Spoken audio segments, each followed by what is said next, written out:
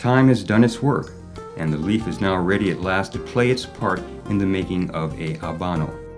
This process takes place at the legendary Cuban cigar factories, where craft has changed little in nearly 200 years. Precious wrappers are prepared for their final purpose in the moja, or moistening department. Here the gavillas, bunches of 40 to 50 leaves, are held under a fine spray of pure water.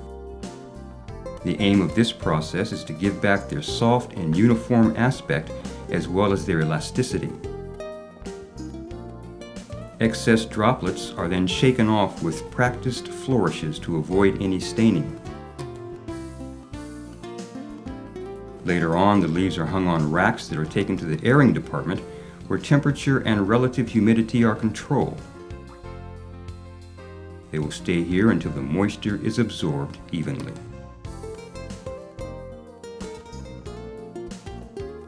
Then the tender hands of highly skilled women perform the despalillo, stripping, and the rezagado, grading.